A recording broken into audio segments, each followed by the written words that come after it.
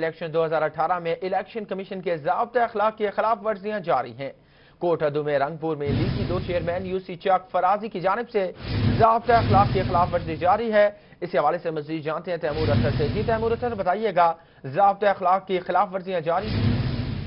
ہاں جی بالکل، جہاں پہ الیکشن کمپین جو ہے وہ بڑھ چکی ہے، وہیں پہ جو ہے الیکشن کمیشن کے ضابطہ اخلاق کی جو ہے خلاف ورزی کی جا رہی ہے۔ رنگپور میں مسلم لیگ نون کے دو چیئرمین ہیں، یونین کونسل چک فرازی کی، جن کی جانب سے پی پی دو سو انہتر کے امیدوار ہے مرزا رحیم خار ان کے جلسوں میں وہ پیش پیش ہے اور ان کی جو ورکری بھی کر رہے اور ان کی جو کمپین ہے وہ جاری رکھی ہوئی ہے۔ چیئرمین سردار عاشق اور وہ چیئرمین ہے منیر مصطفی جنہوں نے جگہ جگہ پہ اپنی تصویروں والے پینا فلیکس بھی لگوا دیے اور جلسوں میں وہ جو ہے بھرپور تقریریں بھی کر رہے ہیں۔